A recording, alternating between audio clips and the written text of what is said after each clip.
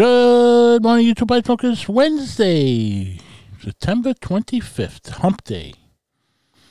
Imagine, where'd that half of the week go?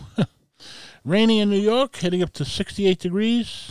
Supposed to get more humid as the day and goes by, and tomorrow too, and then it cools off again. Don't need that humidity. Get out of here.